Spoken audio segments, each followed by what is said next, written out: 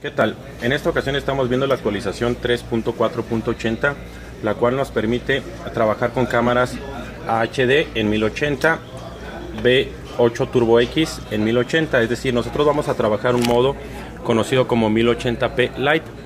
Este modo nos permite adicionar en la serie Slim, que es para 720p, cámaras 1080.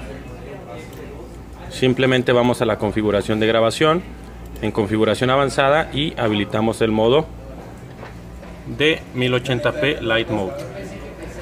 Y con esto nosotros podemos trabajar las cámaras 1080p. Aquí estamos viendo cámaras IP en 2 megapíxeles, B8 Turbo X, una cámara Samsung AHD 1080, una cámara en 720 y una cámara en 1200 líneas.